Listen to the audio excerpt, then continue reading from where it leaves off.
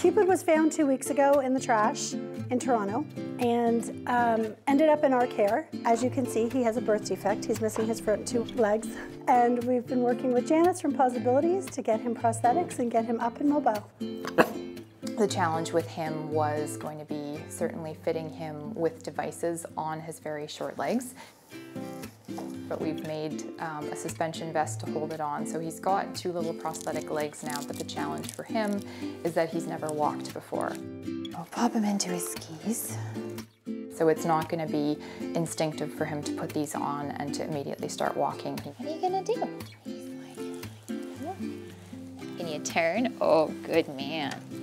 Device that we have for him today is a really good first step. It's a way forward. You could consider it almost a, a therapy tool, but he has a long way to go to be able to be walking independently on two prosthetic legs.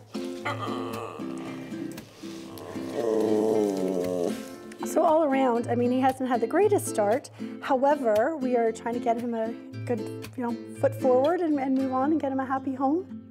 He does have some needs, so we're looking for somebody who is home a little bit more, who has a little bit of a quieter um, household, not with young kids. Only because he is going to be, um, he's going to be a bit of a star, and he'll need a little bit of additional work than an average dog going into a new home.